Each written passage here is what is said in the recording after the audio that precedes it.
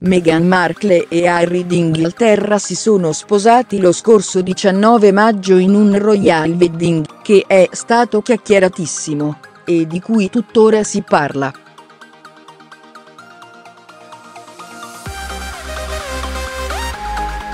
Per esempio si è parlato di chi avrebbe accompagnato la sposa all'altare visto che tra i grandi assenti figurava proprio suo padre.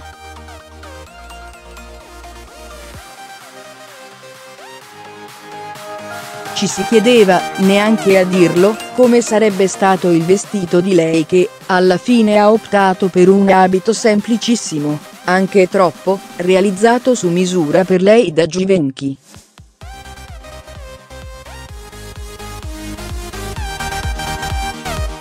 A molti la scelta di quell'abito tanto castigato non è piaciuta. Però è questione di gusti.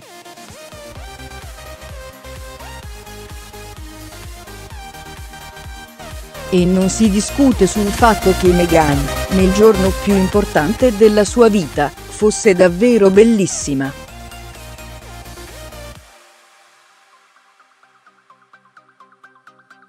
Già da prima del matrimonio, poi, girava la voce che lei fosse incinta, voce che sembrò confermata nel momento in cui i due fecero sapere che non sarebbero partiti subito per il viaggio di nozze.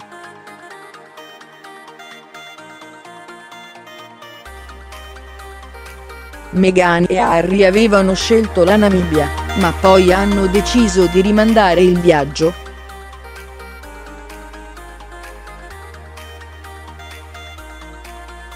Subito si è pensato che lei fosse incinta. L. Namibia non è certo il luogo adatto per una donna dolce, attesa così la voce della gravidanza si è fatta più insistente.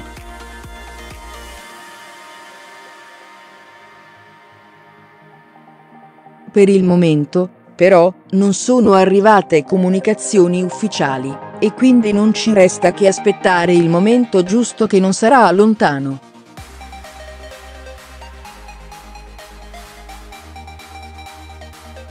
Meghan è proprio una ragazzina, e, se vuole mettere su famiglia, deve iniziare quanto prima.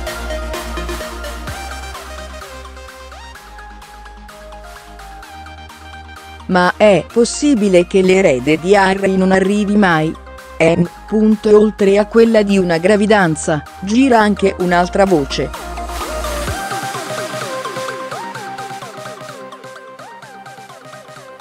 Voce che vuole che Meghan e Harry siano già in crisi.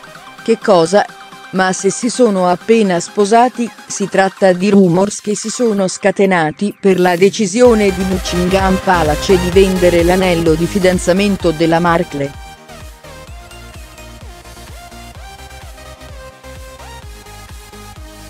Odio cosa state dicendo?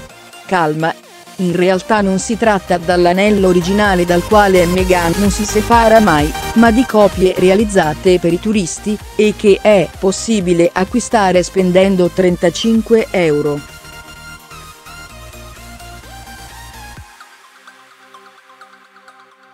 Gli anelli, infatti, sono in vendita presso il negozio Ter Royal Collection oppure nelle shop della famiglia reale.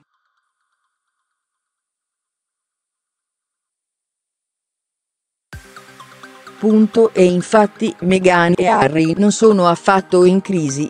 Anzi, sono sempre più uniti e innamorati.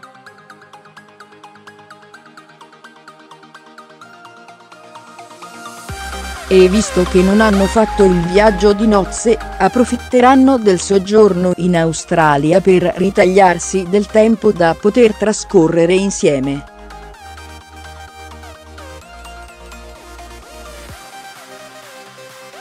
Dal 16 al 31 ottobre i duchi del Sussex faranno il primo tour ufficiale in Australia in occasione degli Invictus Games a Sydney, e poi tra le varie tappe si fermeranno a Melbourne, Fraser Island, Wellington, Auckland.